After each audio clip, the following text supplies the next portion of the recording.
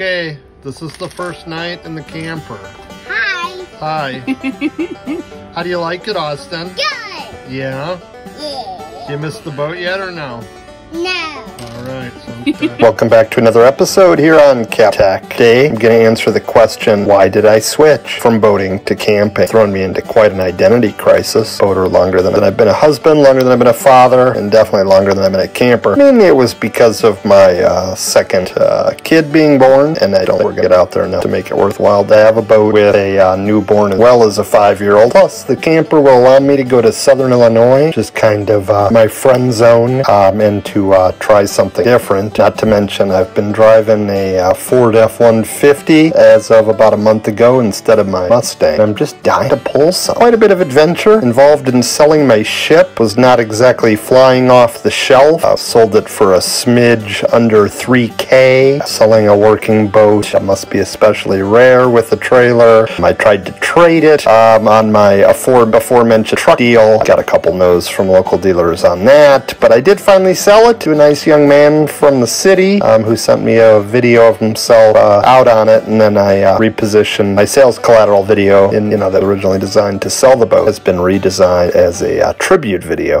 To check out. So quite a bit of adventure around buying a camper. Uh, they appear to be selling like hotcakes, whether that's the uh, stimulus, tax refund, coronavirus. These are all uh, you know cases or causes that you know may be causing an increase in camper sales. Um, also the time of year. You know, found a uh, camper for a skosh over 5k. I didn't want too much of a project, but didn't really care. It's brand new. I Didn't want to overcommit to a uh, new hobby. My requirements on a camper were that I needed a private bedroom and a bunkhouse for little Austyn. And it doesn't look like a fifth wheel is a real great option for an F-150, at least according to my searches. So I wound up selecting this 30-foot Jayco 97 in good shape. the trip to uh, pick it up and do the walkthrough was a real adventure. We went up to a town called Pound, Wisconsin, and met with a fella named Papa Bear, which since that's Green Bay, I don't think it was a tribute to uh, George Halas or anything. Looks like he owns a pretty neat bar and restaurant there I'd like to get to if I'm ever in Pound again. On the way up there, we stayed at the Radisson Madison, which if anybody from there is watching the video, you got a fine hotel there, but I think you should actually market it as the Madison Radisson. Anyway, feel free to use my idea. Anyway, on the way back after getting the camper, which the wife is much better at pulling than I am, by the way, uh, we stayed in a place called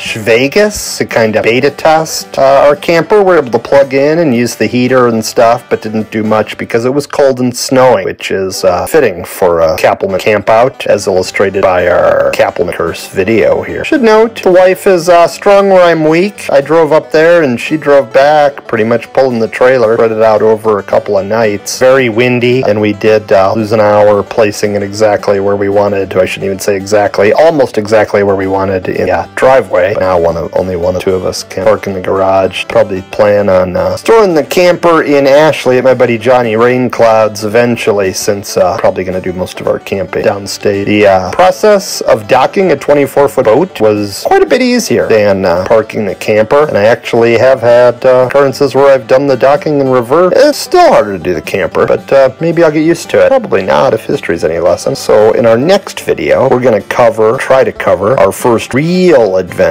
um, which will be a little mini camp that we're going to do, probably around Johnson Sauk Trail or something over spring break, somewhere local, you know, local enough. And then over the summer, with the aforementioned uh, new baby on the way, I'll have some time off for a new parent leave, and we'll then uh, be camping in uh, southern Illinois, somewhere where I can find uh, a beach and peace. Uh, we're going to uh, selecting a campground soon, probably a topic for another video. Looks like private campgrounds you can stay a little longer than 14 days, but the state campgrounds you can only stay a couple of weeks, but they're a little cheaper. Uh, gonna need internet is a paramount concern, just because the way I make my living. No, I don't mean make videos, although please subscribe to the channel. Um, first real adventure should be an adequate distance away from like the Murphysboro Monster, who I believe in, and that scares me a little bit. But I did want to get down around Makanda area, Ferne Clyffe, maybe Glenwood Lake. We'll see. And I want to see how we adjust, uh, you know, to living in the camper for up to 30 days. You know, with the wife being a teacher and me able to work remotely, and if my liver uh, is able to, you know, handle being in vacation mode, you know, for too long. Anyway, thank you so much for watching this video, and stay tuned for more videos on Kapp Tech, or should we call it now, Camp Tech. Thanks for watching. Please subscribe. And click that like uh, if if you like blue or if you like pink What about uh, the other color? and do do red.